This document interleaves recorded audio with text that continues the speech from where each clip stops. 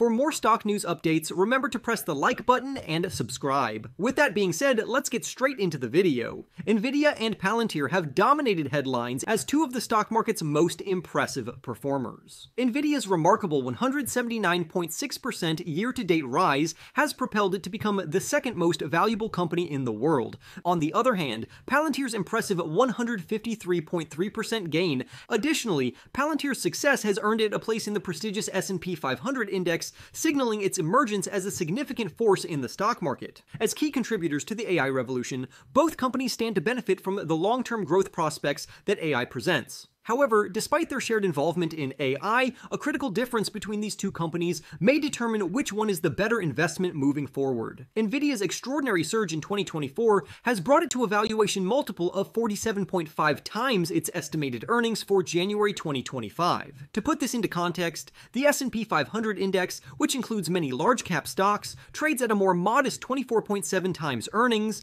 This means Nvidia's valuation is nearly twice as high as the broader market. However, with analysts projecting Nvidia's earnings per share to increase to $4.01 by the end of January 2026, Nvidia's forward valuation decreases to 33.6 times earnings, which appears more reasonable for a company of its size and growth potential. It is important to recognize that Nvidia is not a typical megacap stock. It has established itself as a dominant player in the AI sector, and its growth trajectory reflects the increasing demand for its cutting-edge technology. Despite its relatively high valuation, Nvidia's potential to grow earnings per share by over 40% in the coming year makes it an attractive option for investors willing to pay a premium for long-term growth. While some value-oriented investors may argue that Nvidia's price to earnings multiple is elevated, the company's growth prospects and leadership provide strong justifications for its higher than average valuation. On the other hand, Palantir stock has also experienced significant gains in 2024, surging by 153%. However, this impressive rise has driven its valuation to an extraordinary level. Currently, Palantir is trading at 122 2.4 times its estimated earnings for December 2024,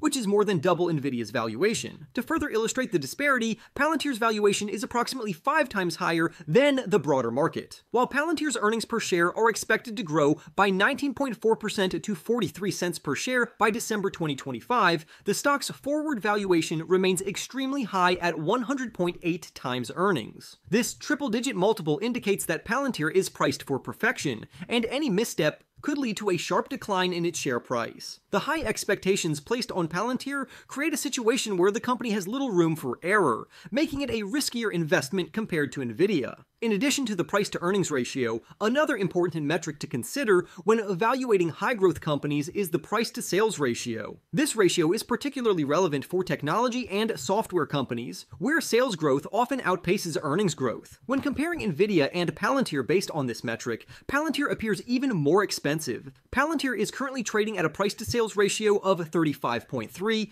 while Nvidia trades at a lower, albeit still high, 26.3 times sales. This indicates that while both companies are valued at premium levels, Palantir's valuation is significantly higher relative to its revenue. The price to earnings to growth ratio provides another useful lens for evaluating growth stocks like Nvidia and Palantir. A lower PEG ratio generally suggests that a stock is undervalued relative to its growth prospects, with a PEG ratio of 1.0 or lower considered ideal. In this comparison, Nvidia has a PEG ratio of 1.8, which is higher than the ideal, but still within a reasonable range for a high growth company. In contrast, Palantir's ratio is a much higher 10.4, indicating that it is significantly overvalued, even when accounting for its expected earnings growth. While Palantir remains an exciting company with a strong growth potential, its extremely high valuation leaves it vulnerable to sudden drops in share price if the company fails to meet analyst expectations or encounters any unforeseen challenges. Investors should be aware of the risks associated with such a high valuation,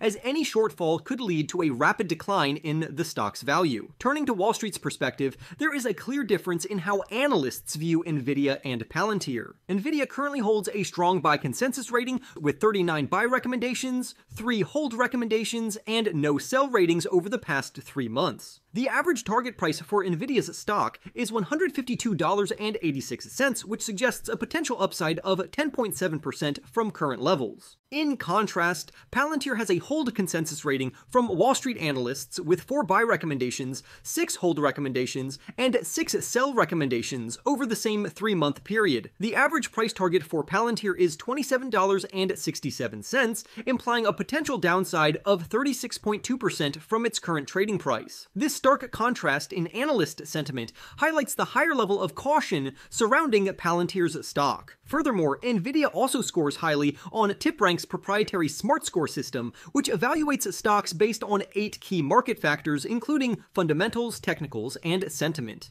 Nvidia boasts an outperform rating with a Smart Score of 9 out of 10, indicating strong bullish momentum. On the other hand, Palantir receives a neutral rating with a Smart Score of 4, reflecting a less favorable outlook. Both Nvidia and Palantir are set to experience significant earnings growth in the coming year but Nvidia is projected to outpace Palantir in this regard. Nvidia is expected to grow its earnings by more than twice the rate of Palantir, making it a more attractive option for investors seeking exposure to the AI revolution. Moreover, Nvidia's valuation, while still high, is far more reasonable when compared to Palantir's. In fact, Nvidia's forward earnings multiple is only about one third of Palantir's, making it appear relatively affordable in comparison. Despite Nvidia's reputation as an expensive stock, it is important to recognize that its price to earnings ratio is supported by strong earnings growth. In contrast, Palantir's valuation appears unsustainable, with a forward multiple that is difficult to justify given its slower earnings growth. The disparity in valuations between these two AI giants highlights why Nvidia may be the better investment moving forward. Additionally, sell-side analysts remain overwhelmingly bullish on Nvidia,